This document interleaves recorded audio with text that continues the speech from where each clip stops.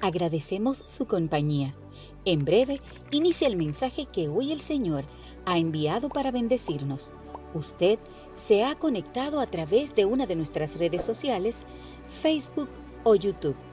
Por eso, en este preciso instante, le pedimos suscribirse y activar la campanita que se encuentra aquí debajo, porque así podrá recibir notificaciones cada vez que en nuestras plataformas haya una prédica poderosa, una alabanza u otro material que edifique su vida. A continuación, reciba la palabra que sabemos viene de parte de Dios y que nos va a transformar.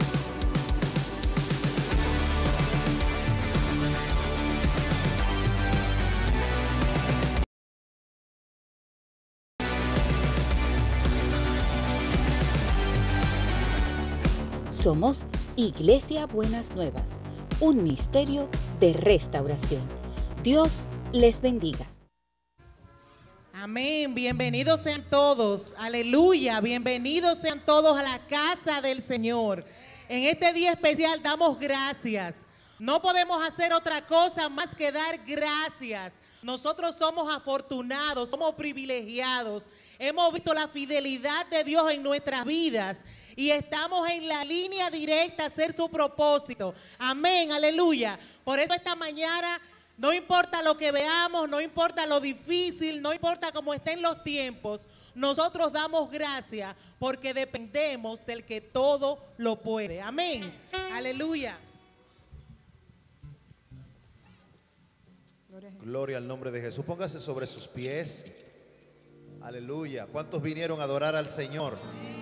¿Cuántos vinieron a adorar al Señor? Vamos, levántele sus manos para que haga un poco de ejercicio de alabanza y de adoración. Y dígale, Padre, gracias. Aquí bato mis manos, Señor, delante de tu presencia.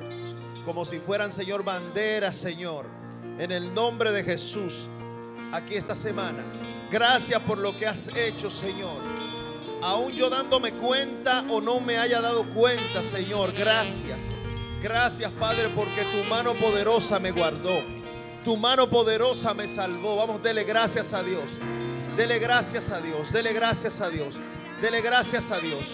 Oh, dele gratitud al Rey de Reyes y Señor de Señores.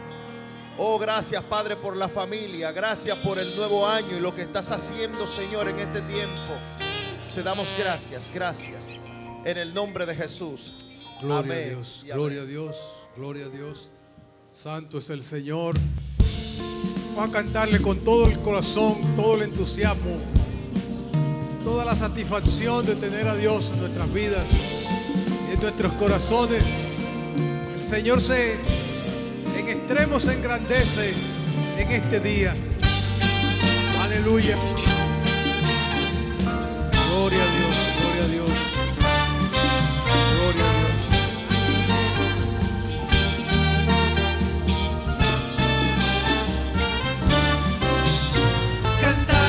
Porque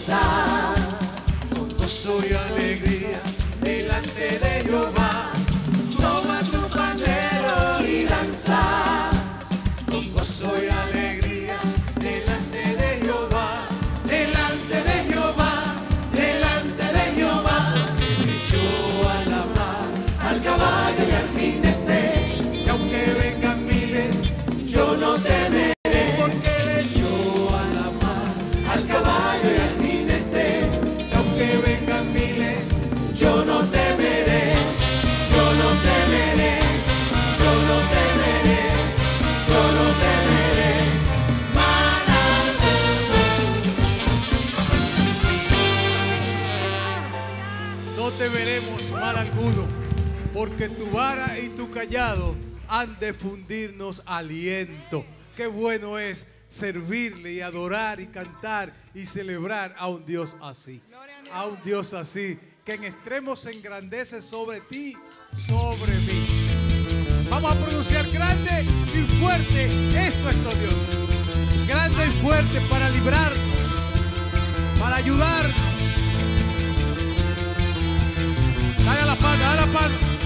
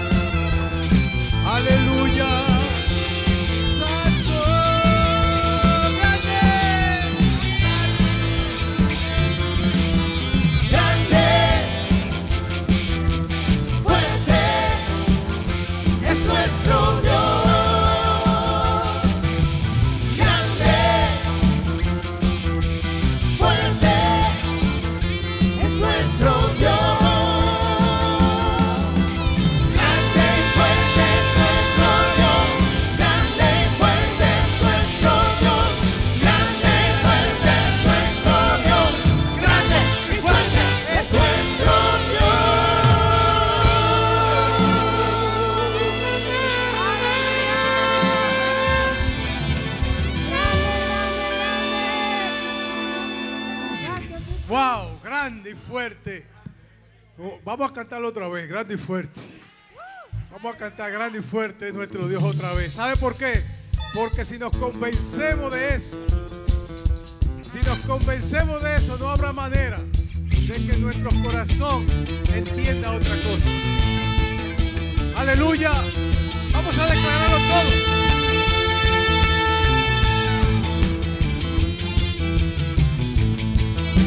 grande.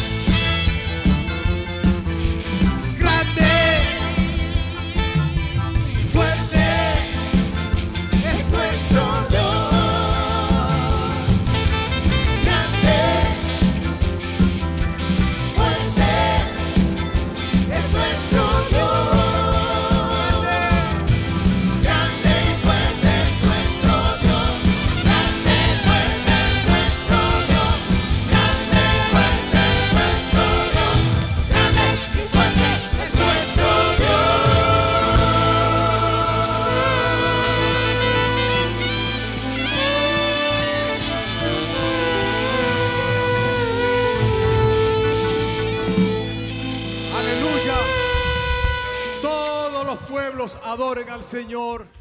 Bendito sea tu nombre por siempre, Señor. Vamos a alabarte todo el resto de nuestra vida porque eres Dios, porque eres el Señor. Eres el Señor, eres el Señor.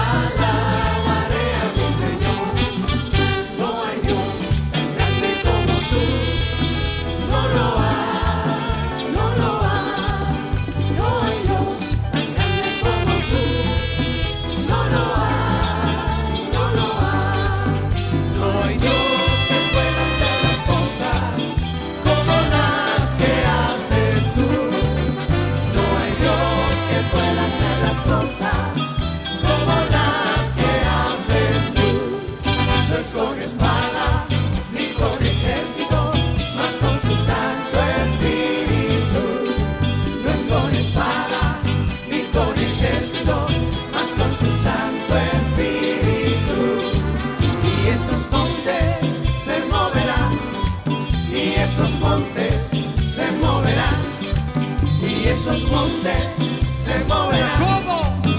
Con su santo espíritu. Yo tengo un amigo.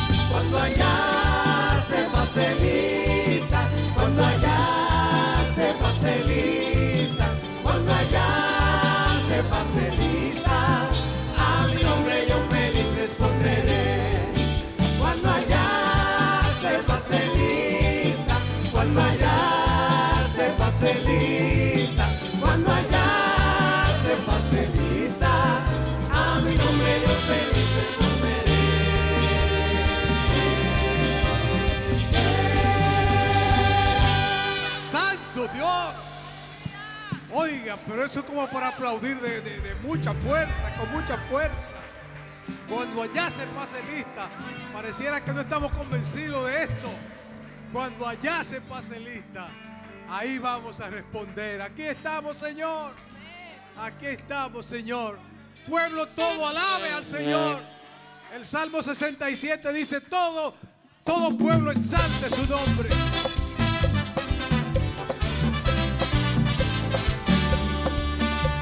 de misericordia de nosotros.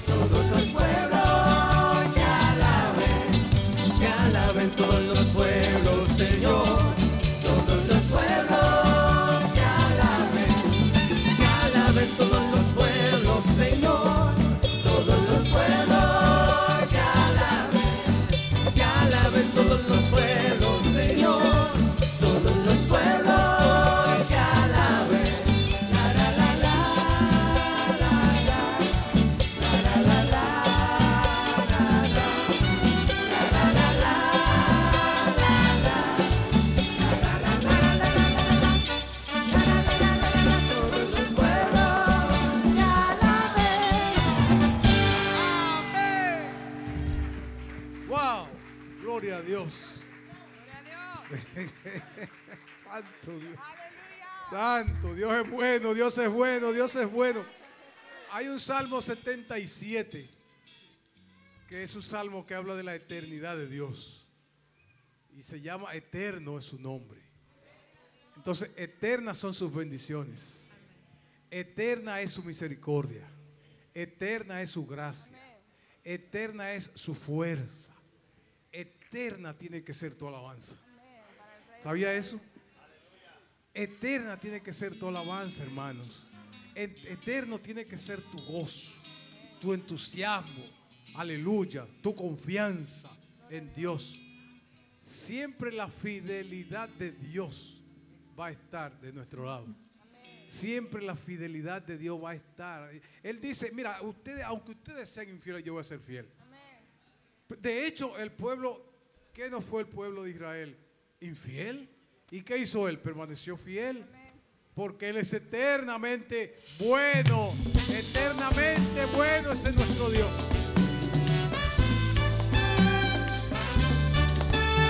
Yo sé que Dios es grande y Señor nuestro, mayor que todos los dioses y de todo el universo. Todo lo que Él quiere.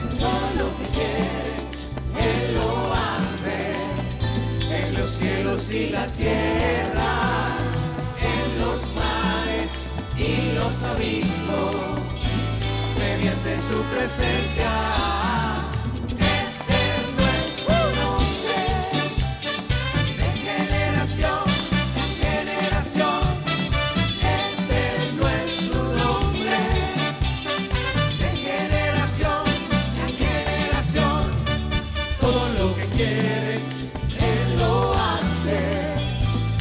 Cielos y la tierra, en los mares y los abismos.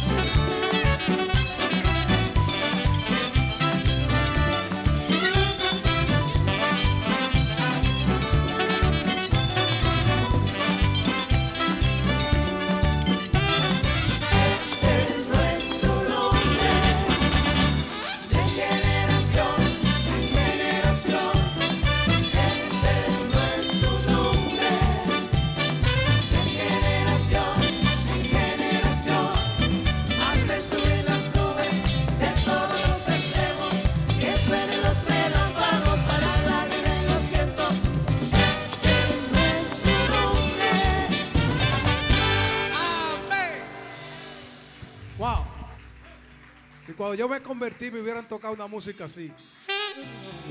Dios mío, todavía estuviera abajo los, de los cientos. ¿Eh? Ay, ay, ay, ay, ay, ay. Usted sabe lo que ese Salmo 77 es maravilloso.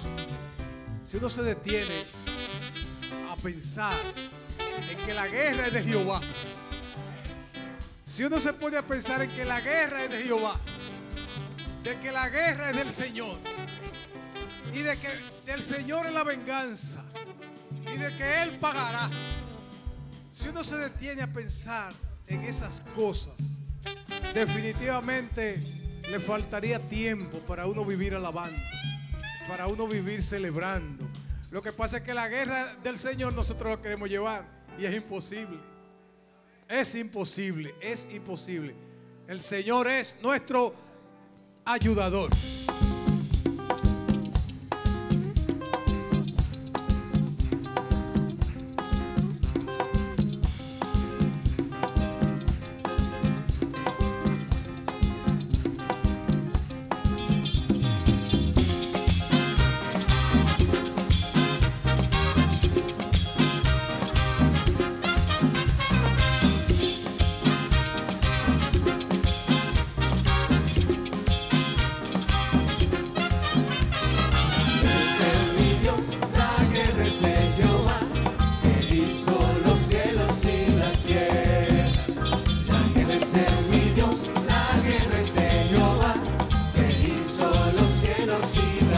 Todo lo hizo el Señor. Día y noche yo le cantaré, su nombre alabaré y levantaré mi voz. Te alabaré todos los días de mi vida.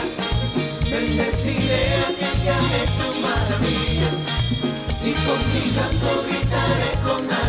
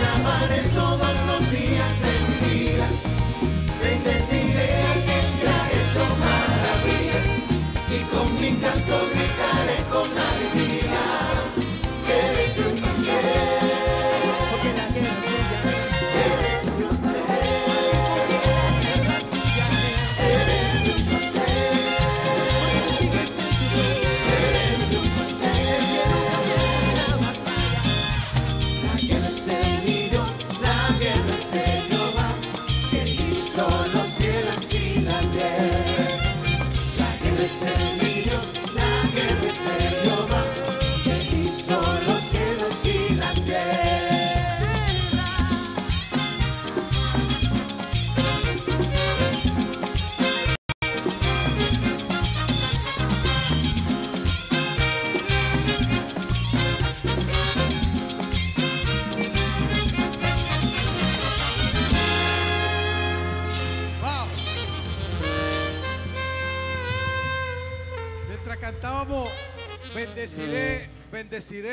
Señor en todo momento y en todo tiempo.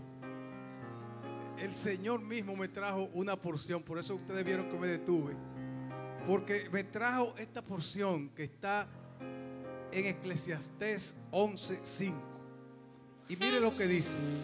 Así como tú no puedes entender el rumbo que toma el viento, ni el misterio de cómo crece un bebé en el vientre de su madre.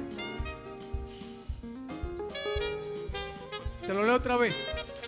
Así como tú no puedes entender el rumbo que toma el viento, ni el misterio de cómo crece un bebé en el vientre de su madre, tampoco tú puedes entender cómo actúa Dios. Tampoco tú puedes entender cómo actúa Dios. Eso me lo trajo Dios ahora. Mientras cantábamos eso, ¿verdad? El Espíritu mismo me trajo esta, esta- esta porción de la Biblia. Así como no puedes entender el rumbo que toma el viento, tú no lo puedes entender. Pasa, tú no sabes qué hace. Tampoco cómo se desarrolla el bebé. Tampoco puede entender cómo actúa Dios, quien hace todas las cosas. ¿Cuántas cosas hace Él? Todas. ¿Cuántos saben que el Señor, aunque esté la tormenta, el Señor te pone por arriba? Grábate eso. La tormenta siempre va a estar. Los inconvenientes siempre van a estar. Lo que Dios te garantiza es que te pone por arriba. Para que tú mires el problema abajo, desde, desde arriba. Tú arriba mirando el problema. Nosotros a inicio de este año 2022 debemos asegurar y estar seguros de que Dios nos coloca por encima de la tormenta. Que no importa la tormenta que pueda levantarse, el Señor le habla a las tormentas, le habla a los vientos.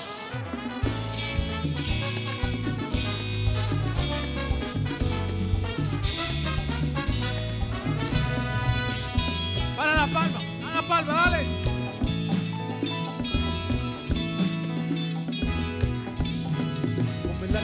Se eleva por los cielos, ascendiendo con sus alas a las nubes.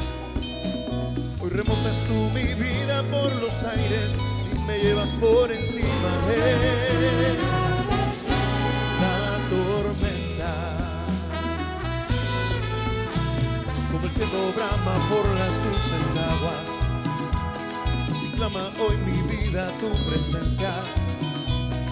Importa por el trato que yo pase, pues me llevas por encima de la tormenta. Por encima de la tormenta, más allá del horizonte,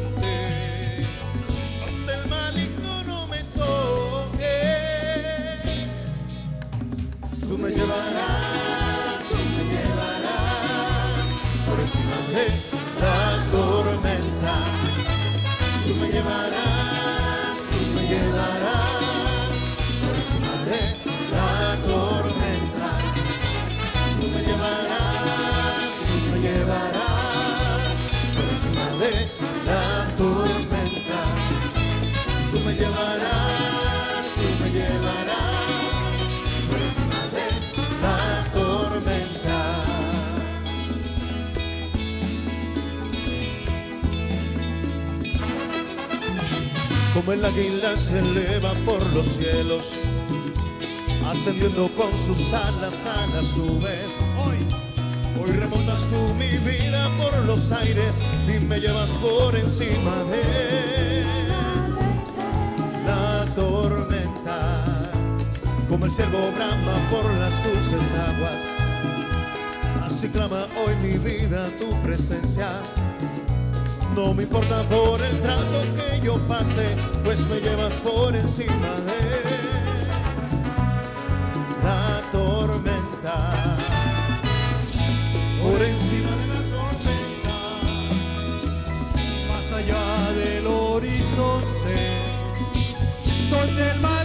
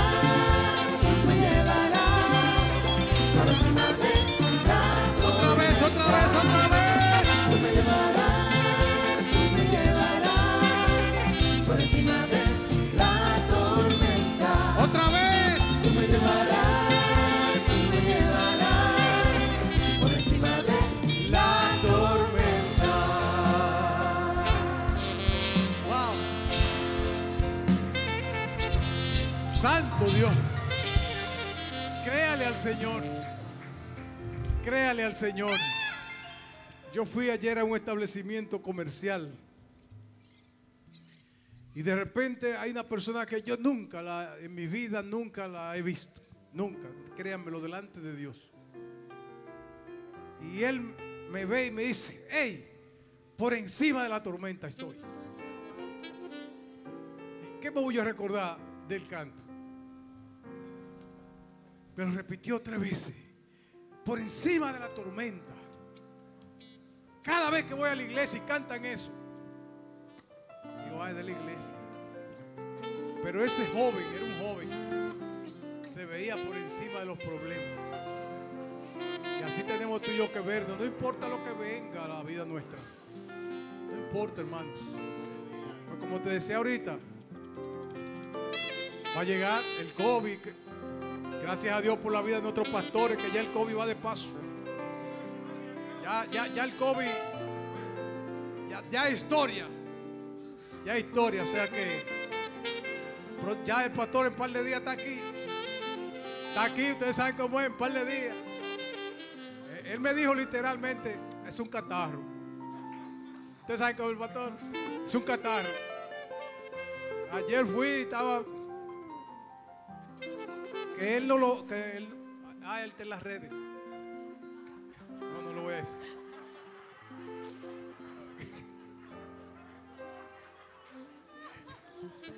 Gloria a Dios. Jesús Amachía. Jesús Amachía. Jesucristo el Señor. Proclamémosle siempre. Proclamémosle siempre. Con gozo. Con júbilo. Porque si tú te ves arriba y no abajo. ¿Cómo es que dice, dicen los hermanos que somos cabeza?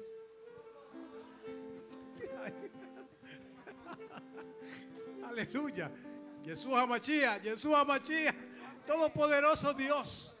Todopoderoso Dios. Él es el Señor, el Todopoderoso. Ya nuestros pastores en breve están aquí, ya como le decía, porque ya superado esa crisis. Dale la palma, dale. Sube el violín, sube el violín.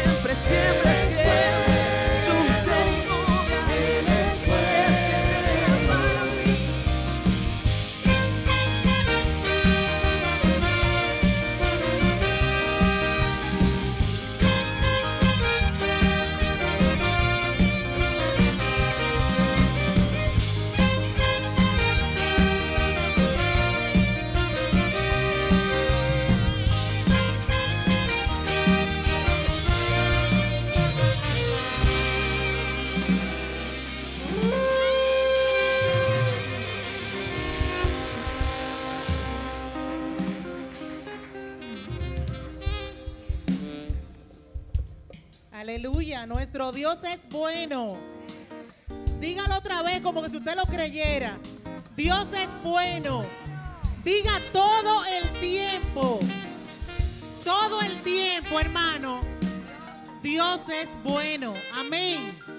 Eso es siempre. Eso es, como mencionaba ahorita nuestro amado pastor que dice la palabra, aun cuando no entendamos los vientos, ahí Dios es bueno. Aun cuando no sabemos qué trae el día de mañana, ahí Dios es bueno. Quiero compartir esta palabra con ustedes en esta mañana y cuando escuchaba al pastor hablando, hablando ahorita, solo podía darle gracias al Señor. Cada vez que comenzamos un año, tratamos de organizarnos un poquito, como poner en perspectiva las cosas que queremos, lo que queremos lograr, las cosas que quedaron pendientes de años anteriores. Y es como si quisiéramos organizarnos.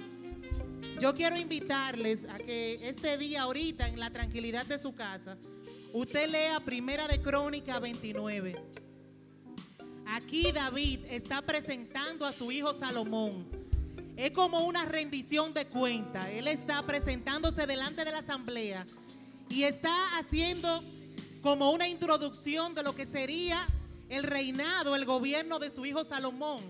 De hecho, él se atrevió a hacer una especie de inventario y de decirle a todos todo lo que estaba disponible para el gobierno, ¿verdad? De Salomón y le decía todo el oro que había acumulado y todo lo que había en los almacenes y cómo estaba diseñado su reino y cómo iba a ser y cómo él lo había visto en su mente, cómo en su mente él entendía que iba a ser el reinado de Salomón.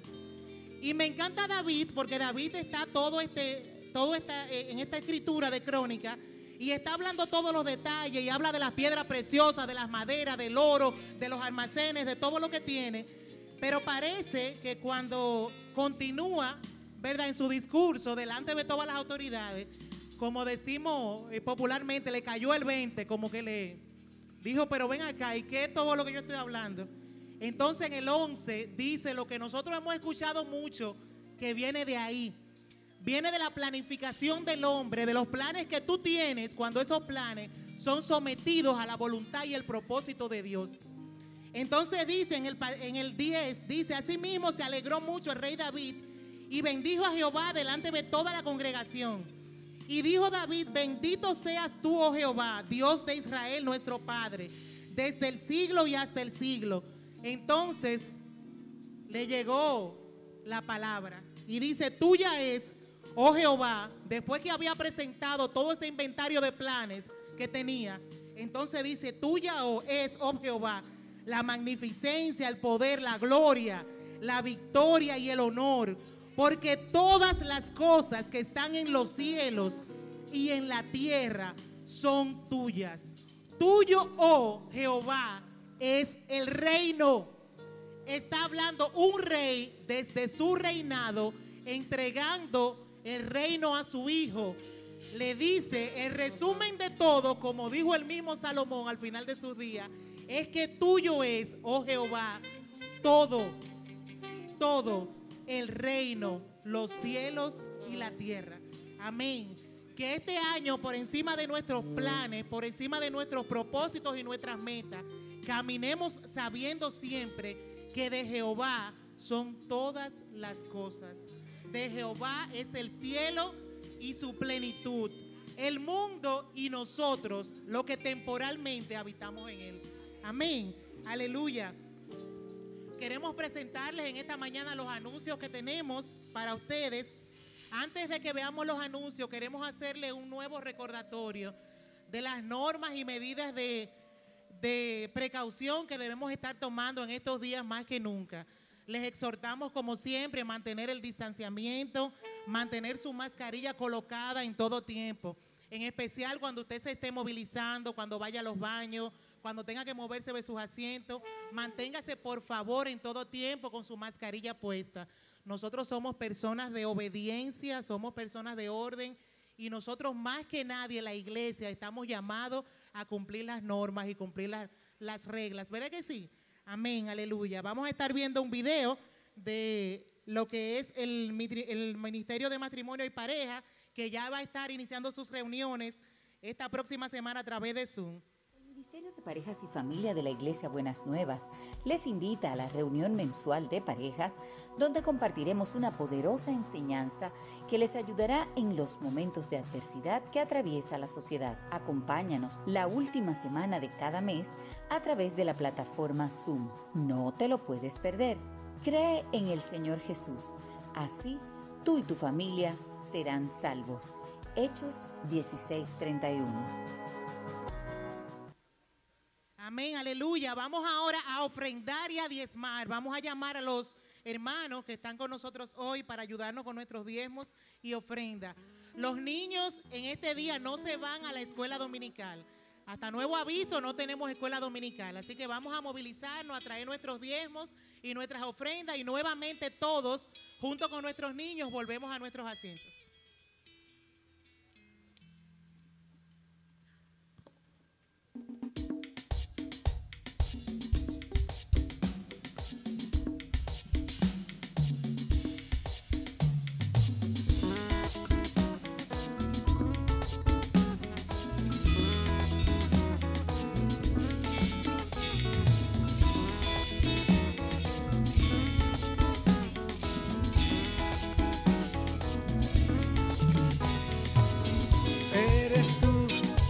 La roca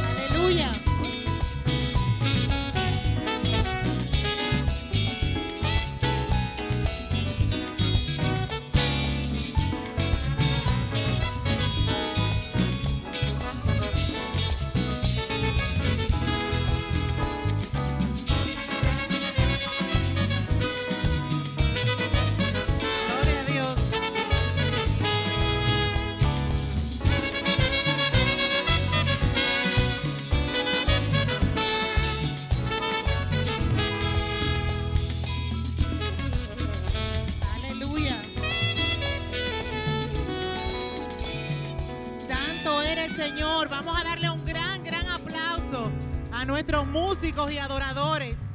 Aleluya, los bendecimos en el nombre de Jesús. Amén, hermanos. El próximo día 15 se estará dando reingreso nuevamente al culto de jóvenes y adolescentes. Damos gracias a Dios por nuestros jóvenes. Damos gracias a Dios por el culto de jóvenes, de adolescentes y de padres. porque los padres somos parte importante de este culto.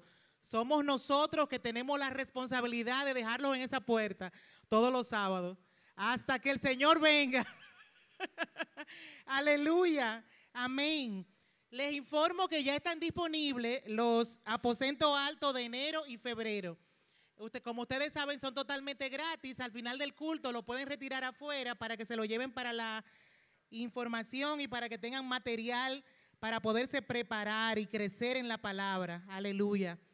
Hermanos, quiero anunciarles que el último domingo del mes de enero, el domingo 30 de enero, es el día de reconciliación en los tres cultos. Hermanos, esta es una meta que tenemos desde ahora. Desde ahora usted va a utilizar su arma superpoderosa. ¿Usted sabe cuál es su arma superpoderosa que usted tiene, que el Señor le dio? La oración. Desde ahora usted va a poner sus ojitos en alguien que el Señor hace tiempo le está inquietando en su corazón. Y usted va a comenzar a orar para que el Señor comience a inquietarlo, que comience a moverlo, que cuando el día 30 usted lo traiga, Él esté en royal ahí ya ablandadito. Ya esté en que cuando llegue y se siente ahí, su corazón esté tan dispuesto, su corazón sea una tierra tan fértil que cuando la semilla le pase cerca, se pegue y dé frutos. Así los vamos a traer aquí el día 30 en los tres cultos, nuestro gran culto de reconciliación. Ese es uno de los cultos más importantes que puede celebrar la iglesia porque es un culto que está orientado en la salvación de las almas, en volver a casa a esos hijos que están un poquito perdidos, que están un poquito desviados. Ese es el día de Dios para ellos. Así que no lo tomemos en menos y vamos a hacer todo lo que tengamos que hacer para que ese día en los tres cultos la casa esté llena, llena, llena de visitas que van a venir aquí a recibir la salvación a través de Jesucristo. Amén. Amén, aleluya. Vamos a recibir a nuestro amado pastor José Ramón. A mí me encanta que José Ramón predique, porque José Ramón es como un vocero. José Ramón viene aquí y dice de una manera muy especial todo lo que nosotros queremos decir y todo lo que nosotros sentimos, pero de una forma muy especial que Dios ha puesto en su corazón. Él es como el vocero, ¿verdad, José Ramón? Amén, aleluya.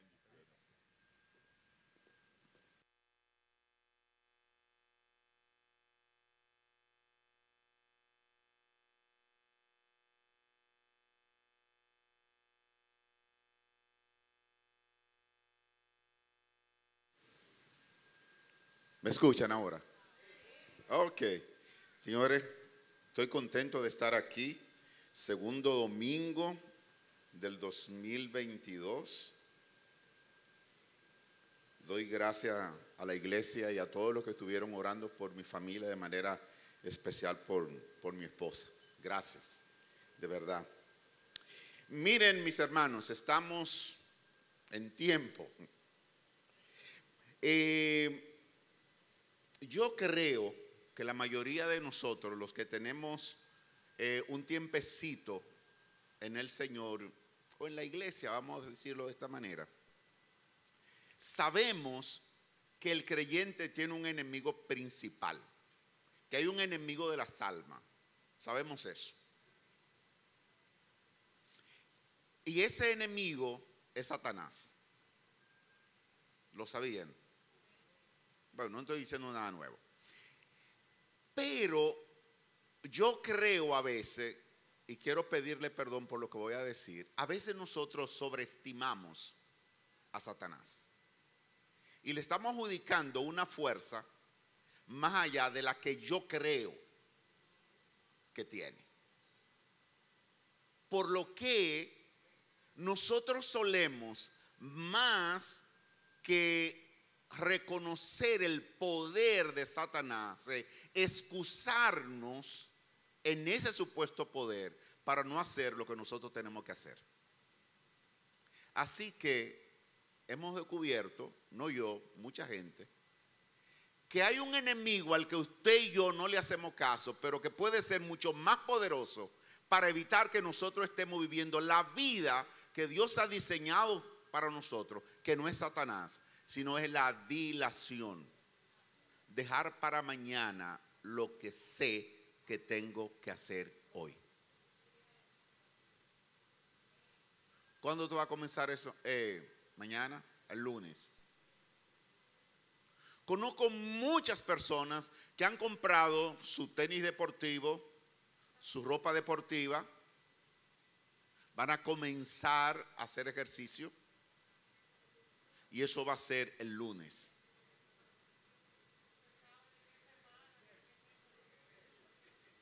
¿Cuándo? El lunes. Ya está decidido el lunes. Y el lunes no se pudo levantar temprano. Pero el martes está ahí.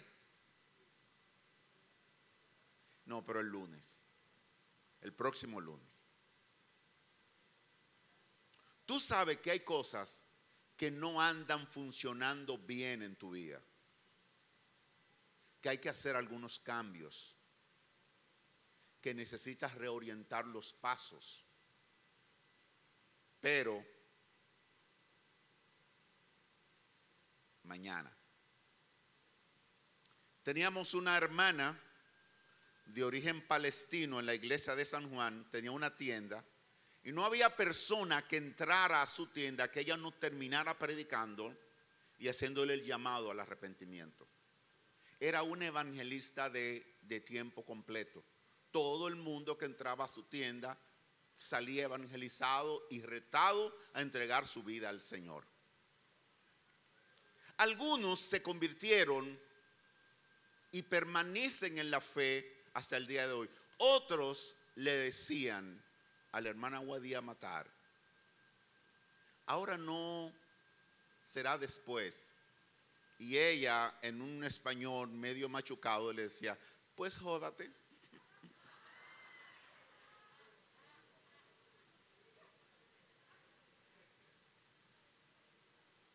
Hay muchos que hemos dicho,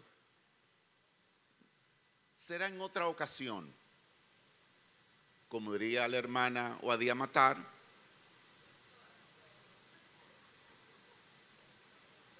La dilación nos está matando. Y quiero volver a pedirle permiso para decir esto y perdón más bien. Si la muerte de Cristo en la cruz del Calvario fue para que tú y yo nos sentáramos por hora y media en este salón cada domingo y seguir viviendo espiritualmente vidas mediocres y estar viviendo profesionalmente por debajo de los estándares y estar teniendo familias dañadas por tú y yo no hacer lo que debemos hacer, el sacrificio de Cristo ha sido el desperdicio más grande de la historia. El reto para nosotros es ser totalmente diferente cada día, producto del poder que por el Espíritu Santo Dios ha puesto en nosotros. Pero nosotros tenemos que aprender a no dejar para mañana lo que tenemos que hacer hoy. Y quiero compartirte en Marcos capítulo 10, verso 46 al 52, una historia que conocemos todos y es la historia del ciego Bartimeo. ¿La conocemos? Leo en la nueva versión internacional. Después llegaron a, Jer a Jericó. Más tarde salió Jesús de la ciudad acompañado de sus discípulos y de una gran multitud un mendigo ciego llamado Bartimeo, el hijo de Timeo, estaba sentado junto al camino. Al oír que el que venía era Jesús de Nazaret, se puso a gritar, Jesús, hijo de David, ten compasión de mí. Muchos lo reprendían para que se callara, pero él se puso a gritar aún más, Hijo de David, ten compasión de mí. Jesús se detuvo y dijo, llámenlo. Así que llamaron al ciego, ánimo, le dijeron, levántate, te llama.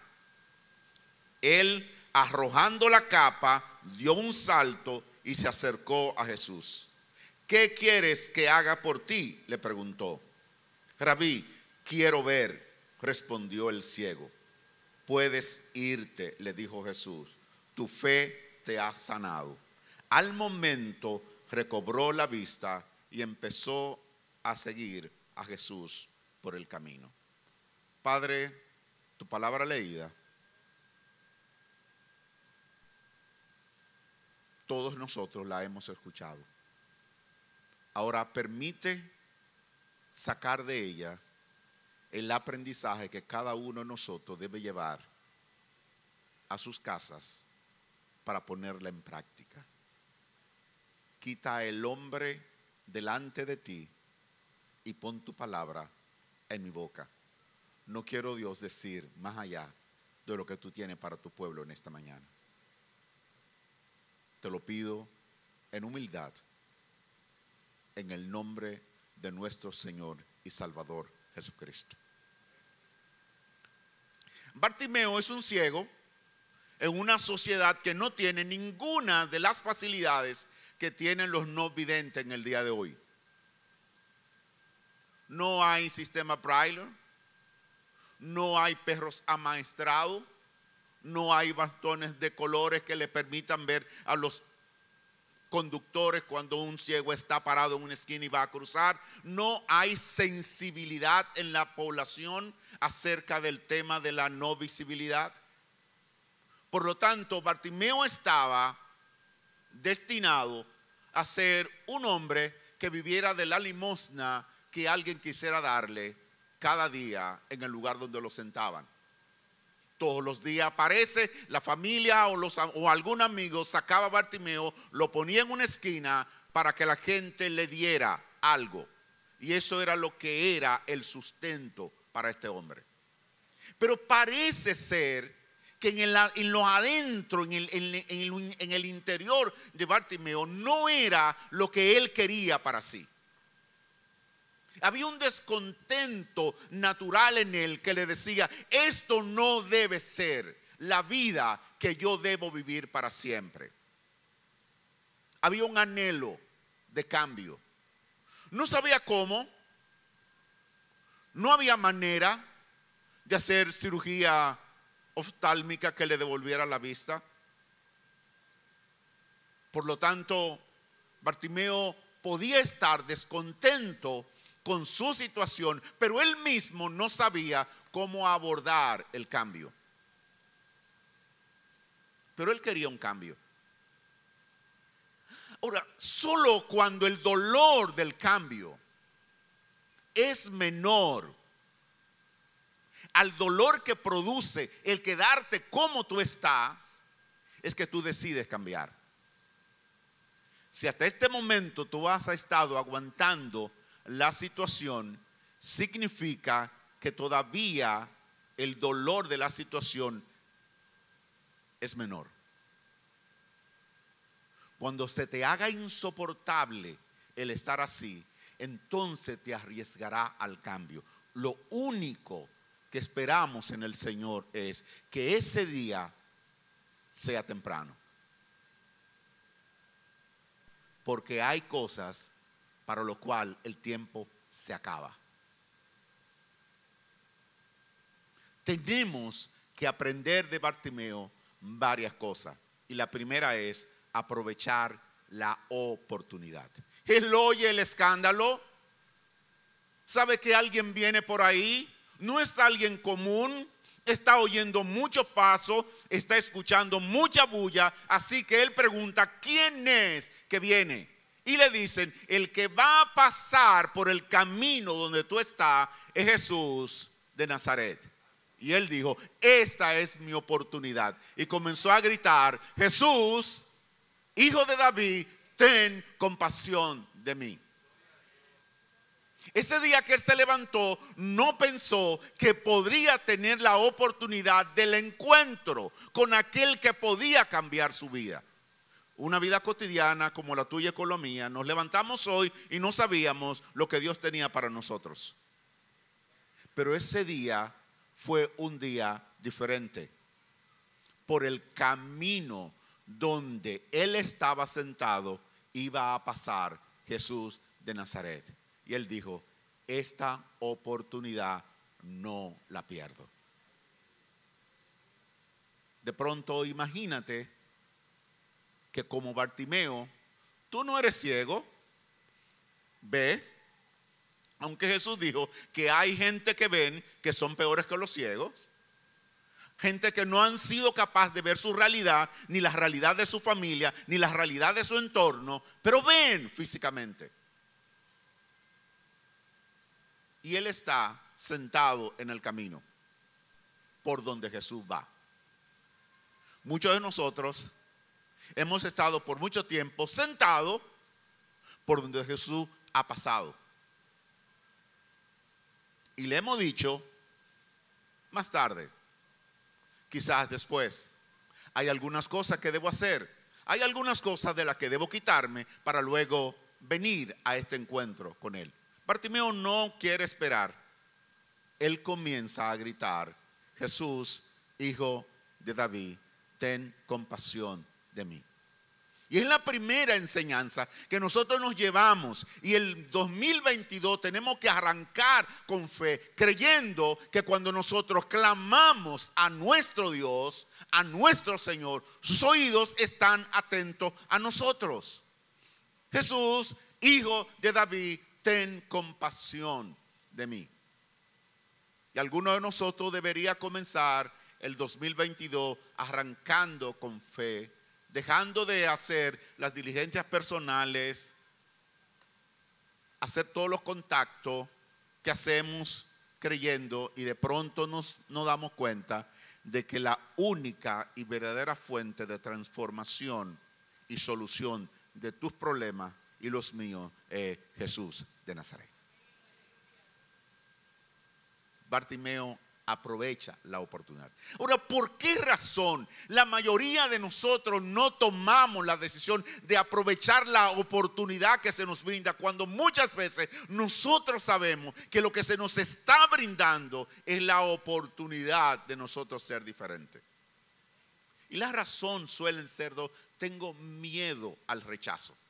Si yo muestro mi necesidad, si yo muestro mi vulnerabilidad, la gente va a pensar, wow, no sabía que él era así. Yo no sabía que ella era así, wow. Oíste lo que dijo fulano, ay, pero yo, tan seriecita que se veía, pero mira, wow. Entonces, la gente tiene miedo a que al mostrar su vulnerabilidad no sea agradable. Y como esto es lo único que yo tengo, si no te caigo bien, entonces ñangala fuángala para mí. El miedo al rechazo, el miedo a la ineficiencia. Yo no voy a ser capaz de hacer eso. Están preguntando quiénes quieren participar en este o en cual ministerio. Necesitamos gente aquí o allá. Porque la mies es mucha, los obreros son pocos. Y yo, ¿será que yo soy capaz de hacer eso? ¿Será que yo puedo? Y comienzo a preguntarme y de pronto digo, no, no, no. Y mejor quedo con mi mano abajo y no la levanto y no me ofrezco porque no soy capaz. El miedo al rechazo, el miedo a la incapacidad nos hace a nosotros no tomar la iniciativa. Si Bartimeo hubiese tenido miedo al rechazo, lo experimentó. Porque inmediatamente él comienza a decir, Jesús, hijo de David, ten compasión de mí. Lo mandaron a callar. Oiga, muchos le reprendían para que se callara. ¿Y qué hizo él? Se puso a gritar más. Cállate, no inoportune al maestro. Él no te va a hacer caso. Él está empeñado y ocupado en cosas más importantes que ponerle atención a los gritos tuyos. Por favor, cállate. Está dañando el ambiente. Vamos a llamar a la Fiscalía de Medio Ambiente porque está alterando el orden público, haciendo bulla. A Bartimeo no le importa. Si tú y yo nos movemos por el miedo al rechazo, debo decirte que la canción de Zerata dice que si nos comparamos con los demás nos volveremos vanos y amargados, porque siempre habrá gente más grande y más pequeña que nosotros. Alguien nos va a aceptar, nos va a abrazar y nosotros vamos a venir a ser personas tan importantes en la vida de otros, pero hay gente que no se rechazará y no entenderá inclusive por qué nosotros estamos vivos. Tanta gente buena que se muere y míralo a él ahí.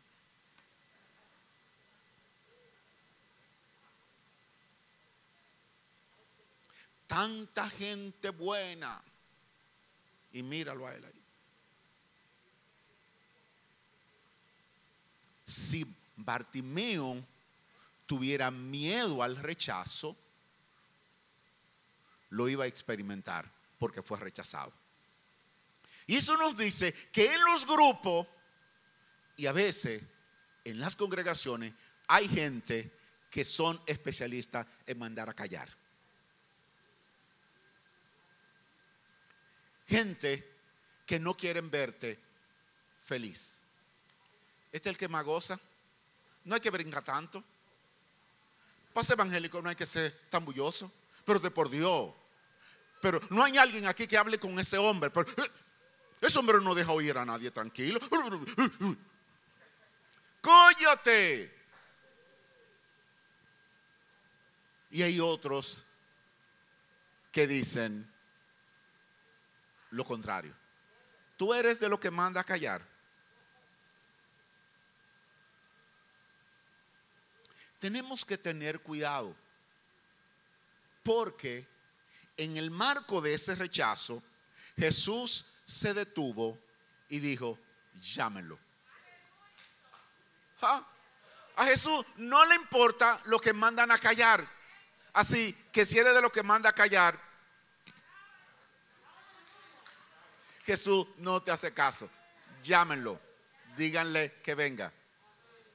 Aunque tú mandes a callar, Jesús oye el clamor del que decide aprovechar la oportunidad cuando Él está pasando por el camino donde Él está. Llámenlo, tráiganmelo.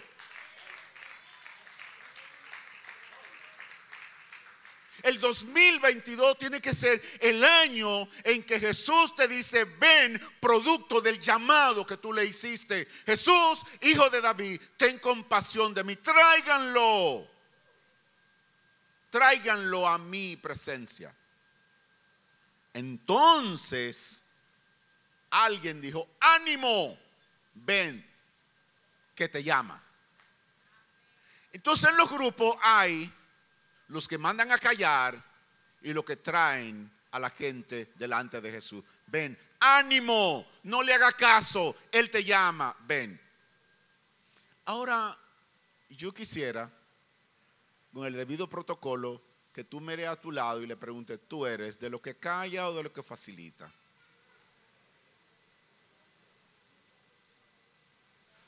¿Tú eres de lo que manda a callar o tú eres de lo que dice, ánimo? el Señor te llama.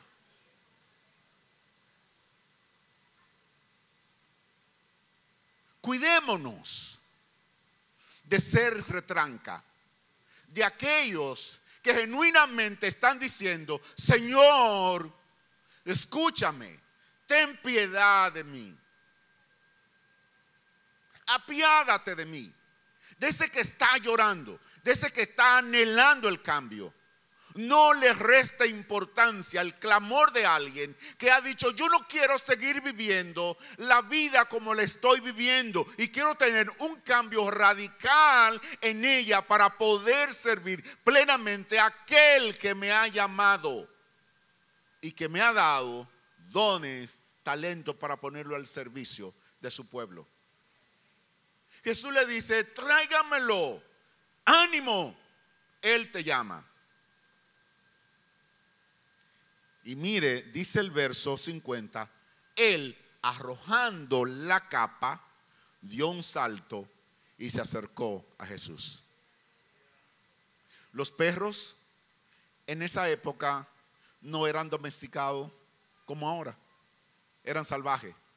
Así que los ciegos tenían que usar una capa de cuero duro para evitar que los perros se lo comieran, que los insectos lo picaran. Era una capa protectora. Y emocionalmente, la mayoría de nosotros solemos tener algún tipo de capa para protegernos. A veces de los perros, de aquellos que tienen dos patas, que se portan como sería, con el perdón de los perros. Toco madera, ya, de- olvídense de eso. Pero Bartimeo nos dice que cuando tú vienes delante de Jesús, tú no tienes que traer capa. Tú tienes que venir tal como eres, sin protección. No hay protección, no hay cobertura humana, no hay cobertor, no hay protección física cuando tú vienes delante de Jesús. Bartimeo suelta su capa y viene delante de Jesús.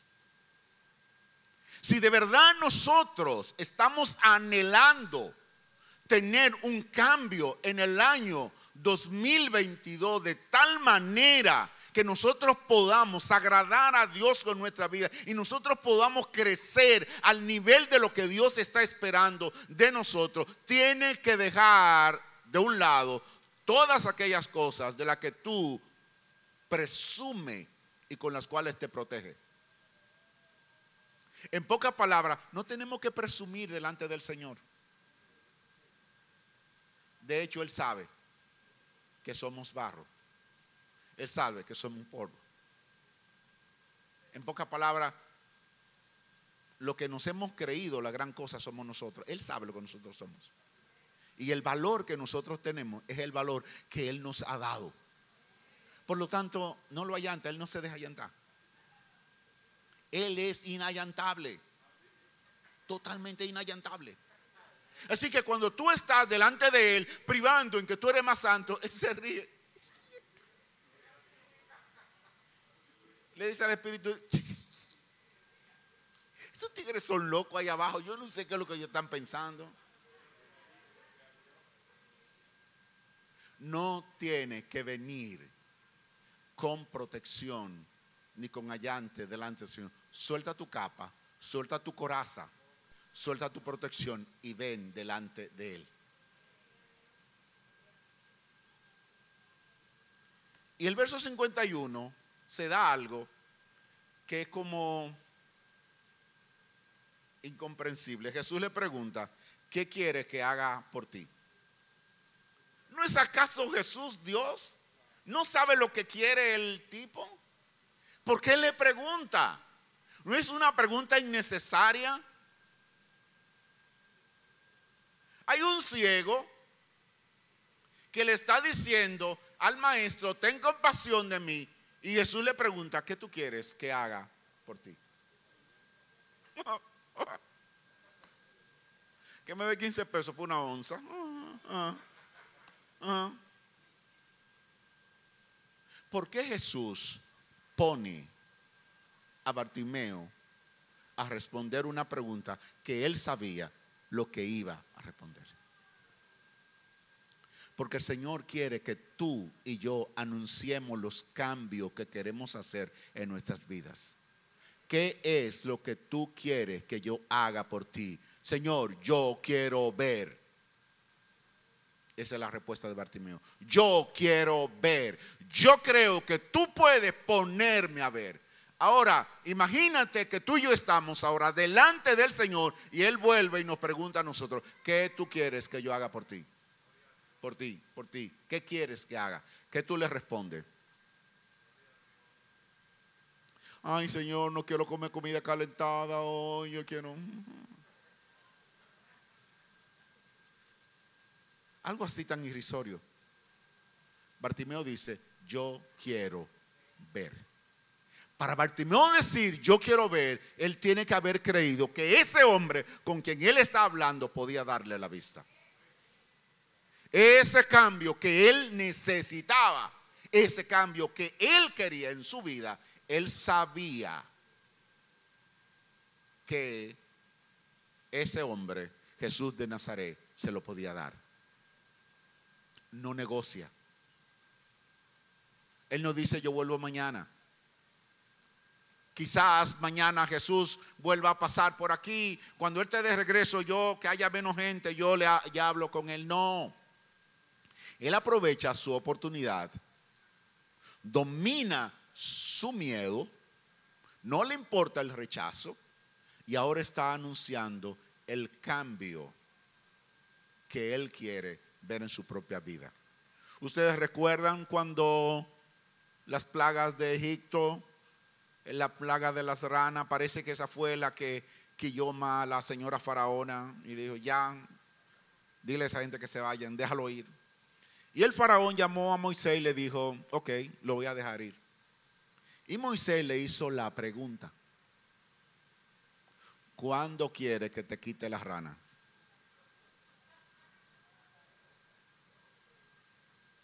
Y el faraón, parecido a ti y parecido a mí, dijo, mañana.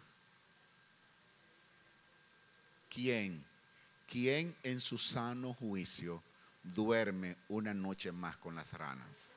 ¿Quién? Bartimeo dice, yo quiero ver.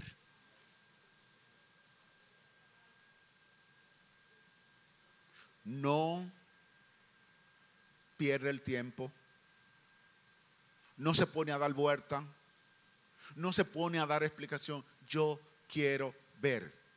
¿Cuál es el cambio que este año y para siempre tú quieres en tu vida? ¿Cuál es el cambio? Y esto no es simplemente alegoría de sermón de púlpito. Piensa que Dios es real, que lo que estamos teniendo en estos momentos es un encuentro y la oportunidad de tú anunciar los cambios que tú quieres ver en ti y en los tuyos. Y Jesús le responde, puedes irte, tu fe te ha sanado.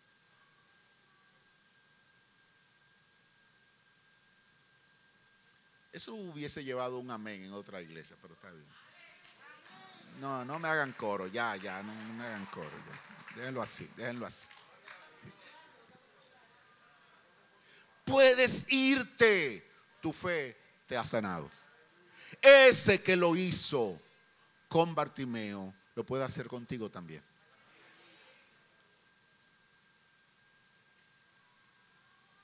No posterguemos. No posterguemos. No sigamos excusándonos en el mañana, en el que yo no puedo, en el que no tengo la fuerza, que eso no depende de mí, que eso depende de los otros. Tu decisión es, hoy comienza mi cambio. Y me llama poderosamente a la atención que Marcos termina diciendo, al momento recobró la vista y empezó a seguir a Jesús en el camino.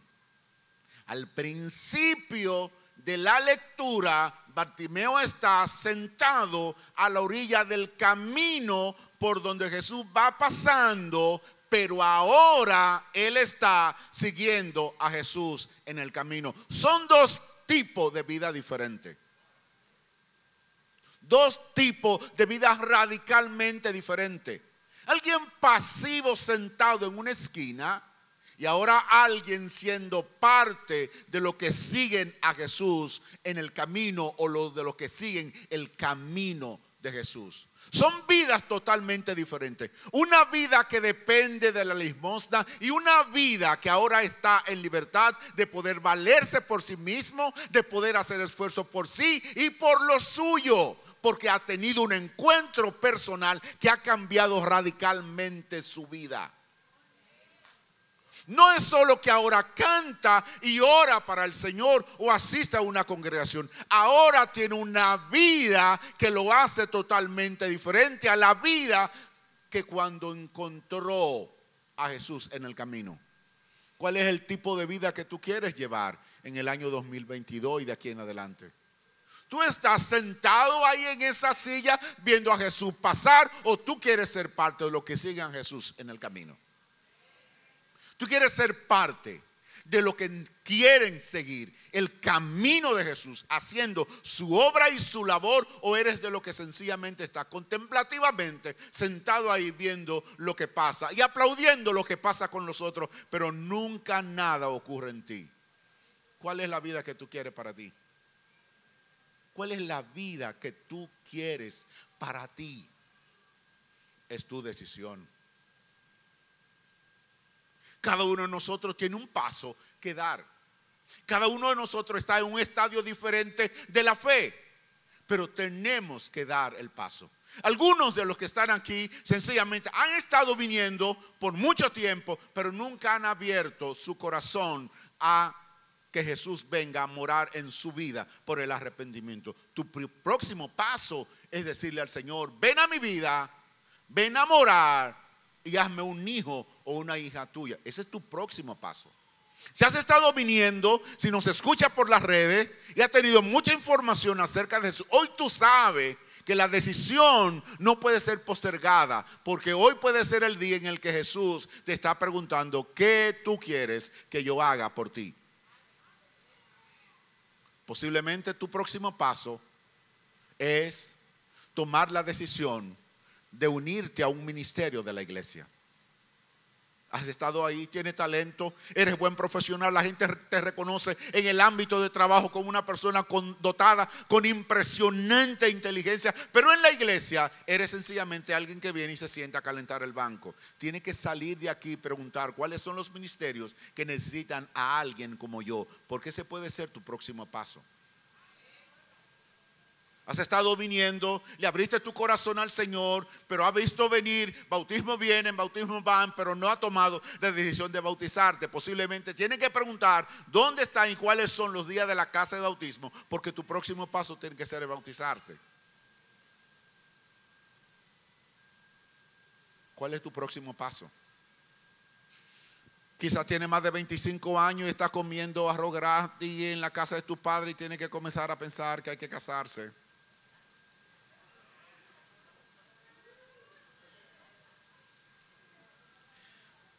Ya tiene cuatro, cinco, seis años de novia, entonces ya la cosa se está poniendo de castaño oscuro, tienen que tomar la decisión. ¿Cuál es tu próximo paso?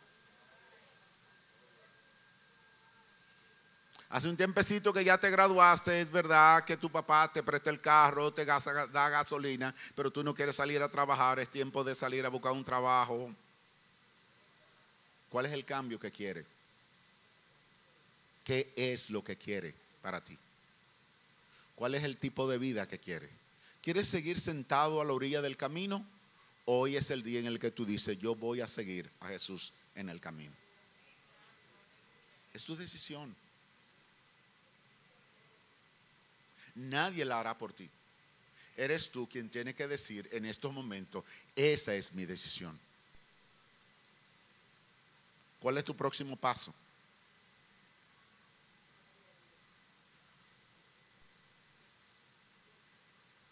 Si te entregaron un papelito, pon cuál es el próximo paso que tú quieres dar. Porque queremos orar por ti en estos momentos.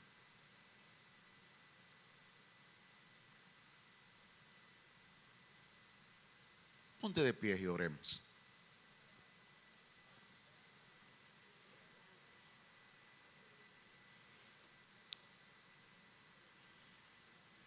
Pastor Orlando, ¿le gustaría ayudarme a dirigir esta oración.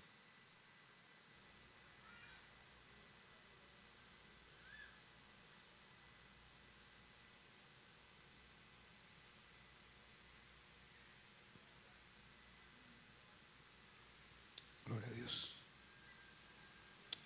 Gloria a Dios. Momento para reflexionar sobre el paso que tenemos que dar hacia adelante. Hay algo de esa historia muy interesante de Baltimeo. Y yo pienso que es determinante que él estuvo consciente de su problema. Él estuvo consciente de su problema. Tan consciente que estando frente a Jesús, Jesús le pregunta, ¿qué tú quieres que yo haga? ¿Qué tú quieres que yo haga? O sea, era como que si él hubiera tenido duda de su problemática, se pudo haber confundido.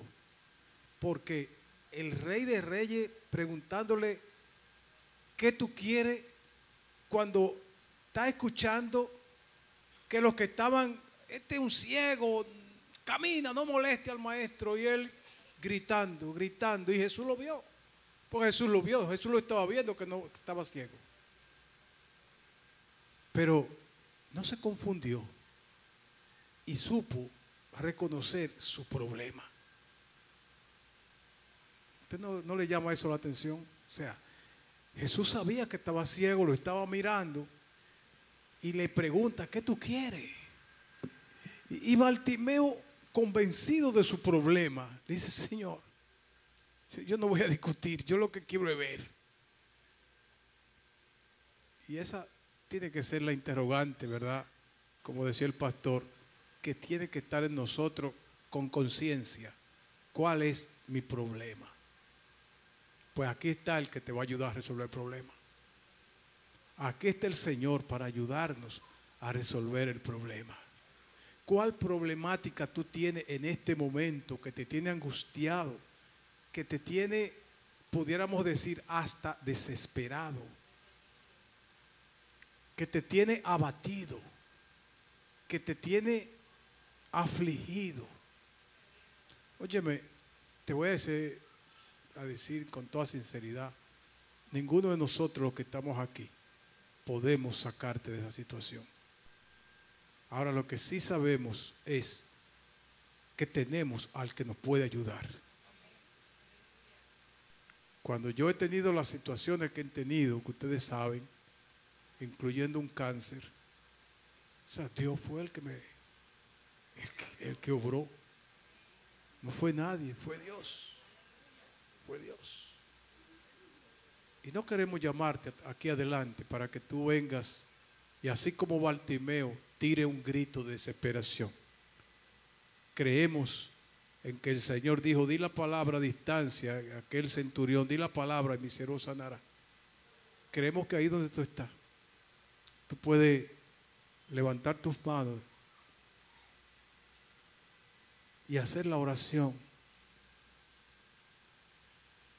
para dos propósitos. Uno, uno de dos propósitos. Uno, aceptar al Señor. Y dos, presentarle cualquier problemática. Cualquiera que sea la situación ahí donde tú estás, no tiene que pasar. Solo haz como hizo Bartimeo. Reconoce cuál es tu problema, de dónde estás cojeando, dónde te duele. Yo sé de dónde estoy cojeando. Yo también tengo mi, mi problema. Yo también tengo mi situación. Yo sé cuál es ella, cuál es.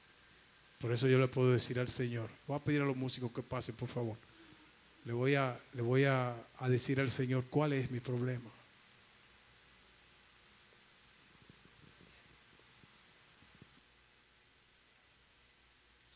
Tú puedes levantar tus manos donde está. No importa si es para convertirte, no importa si es para la problemática que tiene. Pero vamos a decirle con sinceridad al Señor, porque total Dios lo sabe. Y, Dios sabía que Bartimeo tentaba ciego. Dios lo sabía. Aún así le preguntó y así yo te pregunto ahora. Pero solamente para despertar a conciencia de que tú sabes cuál es el problema. Nadie te va a mirar ahora. Por favor, todos si podemos cerrar los ojos. Si el que quiera levantar sus manos, gloria a Dios. Dios te bendiga por levantar tus manos. Dios te bendiga, Dios te bendiga, Dios te bendiga. Por esa sinceridad, Dios te bendiga. Dios conoce tu corazón. Ahora Dios lo conoce. Él conoce tus peticiones antes que tú se las presentes Él la conoce. Él la conoce. Él solo quiere que tú estés convencido de que cualquiera que sea tu situación, Él te puede ayudar. Padre, aquí estamos todos, todos tus hijos que hemos venido a reunirnos en tu nombre. Yo soy el primero que te presento mi situación, Señor.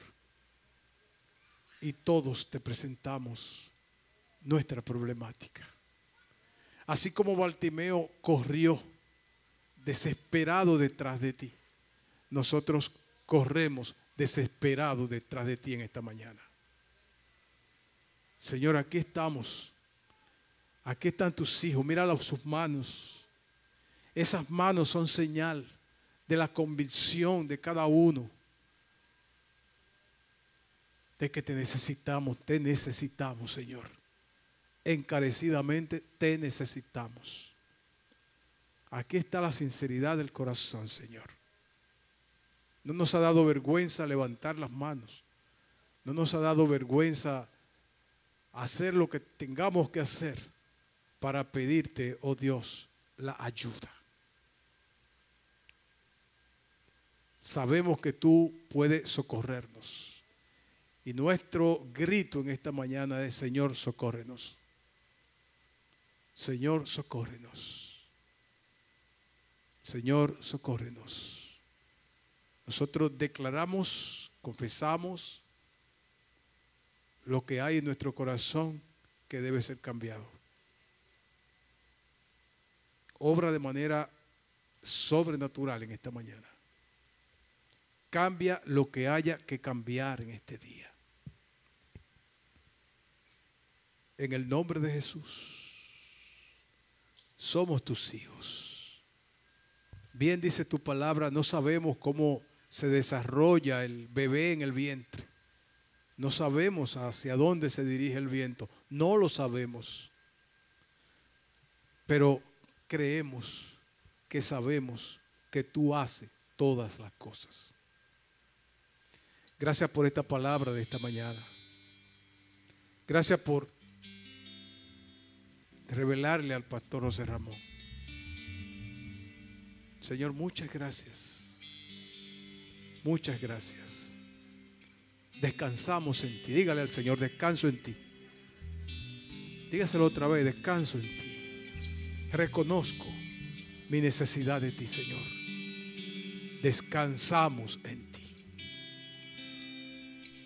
Todo el que quiera, dígale al Señor en esta hora, Señor, descansamos en ti. Señor, nos aferramos a ti. Señor, sin ti no sabemos qué hacer. Sin ti no sabemos qué hacer. Solo tú puedes. Solo tú puedes ayudarnos. Solo tú puedes levantarnos. Solo tú puedes trazar camino claro, una ruta precisa en este año 2022. Solo tú puedes hacerlo. Recibe la gloria, Señor. Recibe el honor. Vamos a cantar la canción que dice, lo hará otra vez. Lo hará otra vez. Lo hará otra vez. Gloria a Dios lo hará otra vez. Él no se detiene. La Biblia dice, hasta ahora mi Padre trabaja. Mi Padre no descansa. Mi Padre no descansa, no se cansa. ¿Y sabes cuál es la mayor actividad de Dios? Escucharnos para ayudarnos. Porque Él sabe que sin Él no sabemos qué hacer. Él lo sabe. No te creas que eres el súper. Ninguno somos súper cristianos. Lo que somos, lo somos por la gracia de Dios. Que Dios te bendiga. Que vayas, salga de este lugar con la convicción de que el Señor va contigo a donde quiera que vaya. Que vayas, salga de este lugar seguro de que Dios mantiene sus oídos inclinados para escucharte.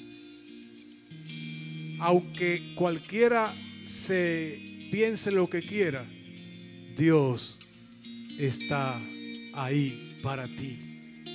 Hermano, Dios está para nosotros. Nosotros somos el trabajo de Dios. A Dios nadie le da trabajo. El trabajo de Dios es bregar con nosotros. Ese es el trabajo, 24 horas, 7 días a la semana. El trabajo del Señor es bregar con nosotros. Él no hace otra cosa que no sea bregar contigo y bregar conmigo. Así que este día vete de este lugar sabiendo que estás rodeado por el amor y la gracia de tu Padre. Que no en vano le servimos y que en Él está todo en control. Esta tarde a las seis y media, a las seis de la tarde, perdón, tenemos un servicio glorioso. Y mañana lunes es nuestra noche de milagro. Nosotros no podemos retroceder. No somos como los que retroceden. Si al estadio olímpico fueron 60 mil gente que no son creyentes, que no tienen a quien levantarle la mano, solo a su Dios, no se sabe cómo se llama, y desafiaron todo COVID, más de 60 mil gente. Hermano, la casa de Dios es la casa del pan y la casa de la sanidad. Así que no te quedes en tu casa por un COVID. Eso es cobardía, hermano. Eso es cobardía.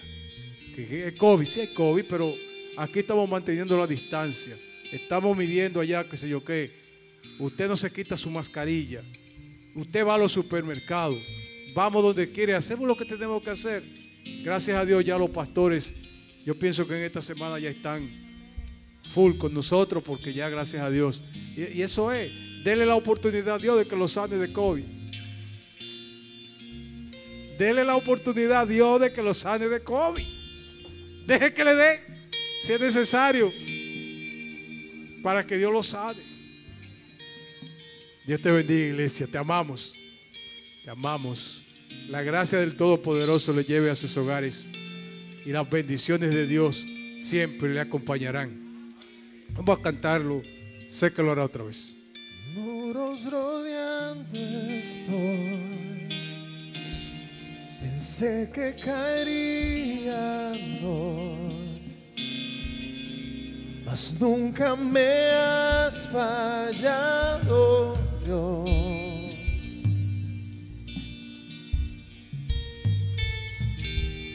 La espera terminará. Sé que has vencido ya.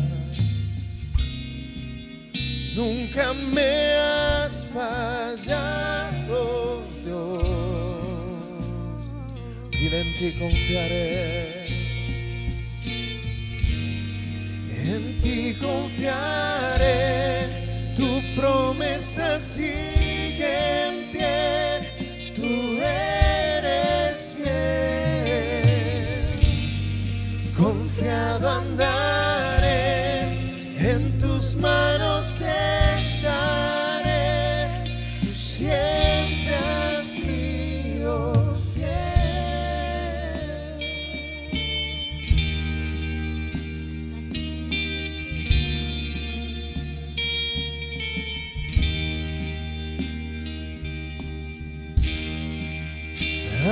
Noche acabará tu palabra se cumplirá. Mi corazón te alabará. Cristo Salvador. Cristo mi Salvador. Cúbreme con tu amor. Mi corazón te alabará. Vamos, levantaré tus manos al Rey. Dile, en ti confiaré. Tu promesa sigue en pie, Dios. En ti confiaré.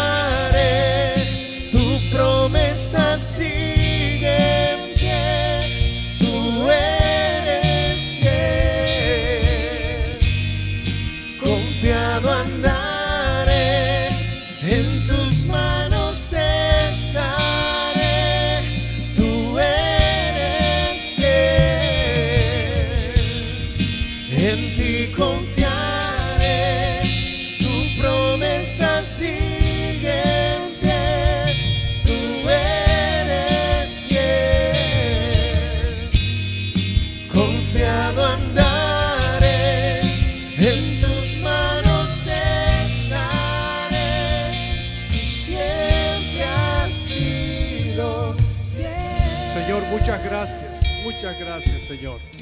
Muchas gracias porque podemos esperar. Porque la esperanza no avergüenza. La promesa tuya han de cumplirse, Señor. Y nosotros nos mantenemos esperanzados, esperanzados en la fe, en la esperanza y en el amor. Vamos a estar ahí, Señor, fundamentados en tus verdades, Dios. En tus verdades, en tus verdades, Señor. Dígale, yo sé que tú, Señor, mueves las montañas. Arre. Yo sé que tú mueves montañas, yo creo en ti. Sé que lo harás otra vez. Abriste el mar en el desierto. Yo creo en ti.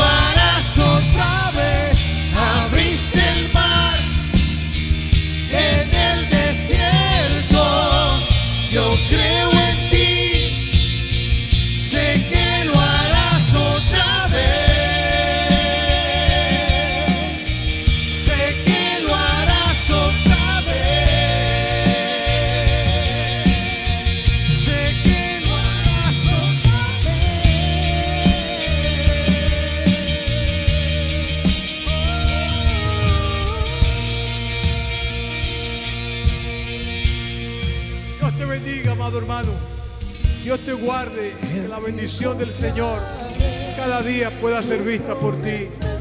Cada día, cada día, cada día, cada día. Dios te bendiga, Dios te bendiga. Dios te guarde. Sale de este lugar bendecido. Mañana lunes nos vemos acá para honrar al Señor y darle gracias por sus maravillas y sus obras maravillosas. Dios te bendiga.